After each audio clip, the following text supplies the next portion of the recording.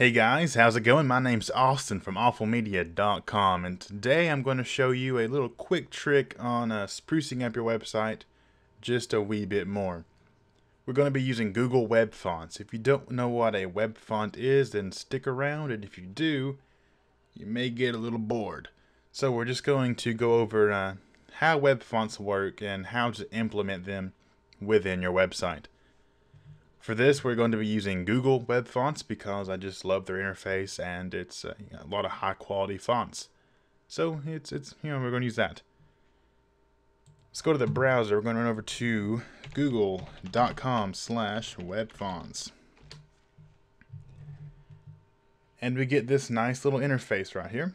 And with all these different little fonts, oh, excuse me, that we can uh, choose from and using our website, we can click add to collection and add them to our font collection down here where we can uh, go over them and use them individually if we like or any way that we like. So what I do though is if I find a font I like, I just go quick use because I, I never use more than one font per website so it doesn't really make a difference to me.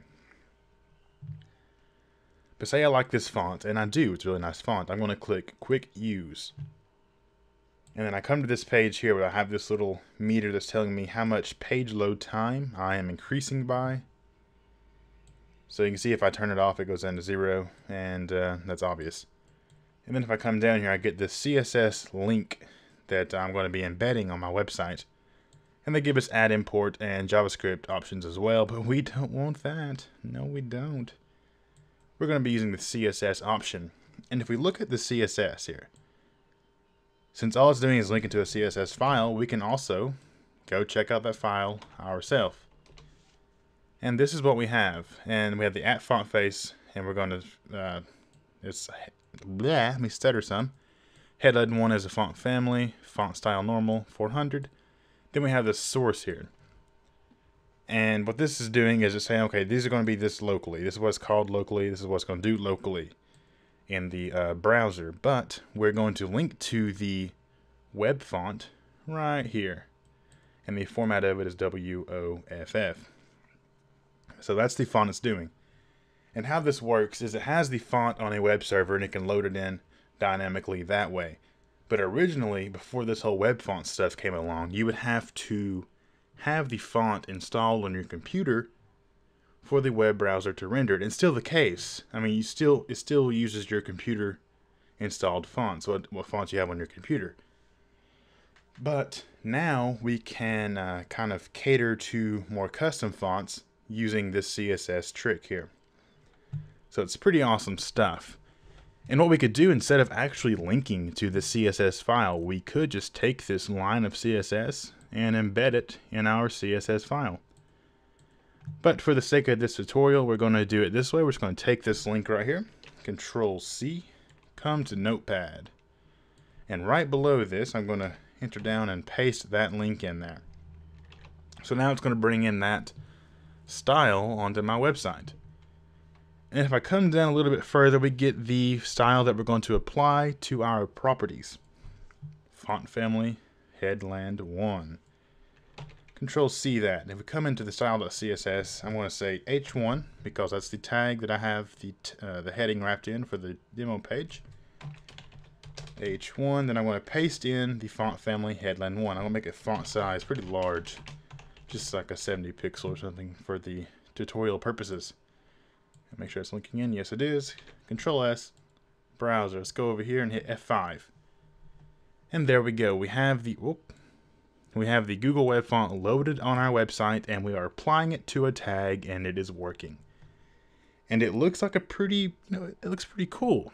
You put a lot of work into that, didn't you? No, I didn't. I linked in a style sheet and then added the style to a tag. It's all I did.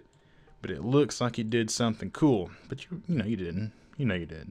So I want to go here and I'm going to say H2. And apply that style to that too. And you'll see it apply it to that line. But what, what we could do is we could just come over here and say uh, H1 and H2 and H3 and H4 and H5 and H6. Then we could apply styles to all of these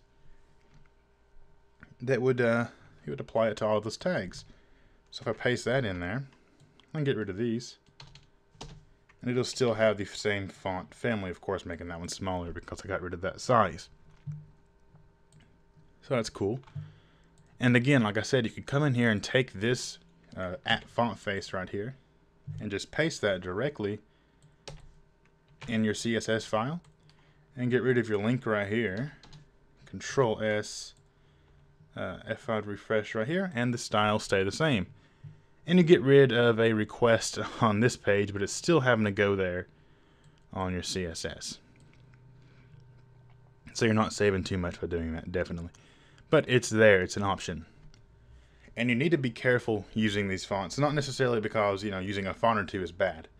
But if you have a website that has uh, 10 or 20 fonts loaded in from a different web server other than yours, that's just, you know, a few more things the user has to load in for your website to be finished loading.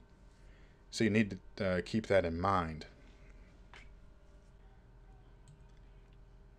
And don't forget about the vast, vast, vast library of uh, fonts that Google has listed on here for you and their near endless scrolling list. I love that. It's pretty cool. And all of these can be used. Like this one, it says has four styles. So if I goo, uh, goo, if I goo it, if I do that, you can see I have these uh, different styles I can select. I can select all these styles. But every time I do that, that little meter goes up and up and up. The higher that goes, the slower my page is going to load, pretty much.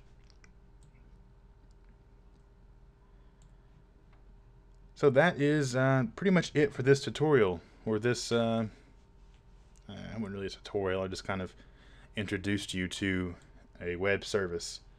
Maybe you didn't know about it. If you didn't, there you go. Awesome, awesome stuff. So if you like this kind of tutorial, or again, if you like this kind of video, let me know. If you do not, if it's kind of a waste of time, just let me know that too. So I know not to waste my time with it. I can do these shorter videos on a lot uh, more uh, consistent basis, I guess. Like when I was doing the 30 minute videos, that, that takes a while to do because not only do I have to record them, I have to edit those, and those take quite a while to edit. But these little 10 minute videos or whatever I can do in no time. The editing is pretty simple, nothing really too bad there. So if you like these, let me know, and I will definitely pump some more out about uh, some things that are important to the web design field. So if you want to see more videos like this, do subscribe. If you do not subscribe but dislike the video, and let me know why. So thank you for watching, and I'll see you next time.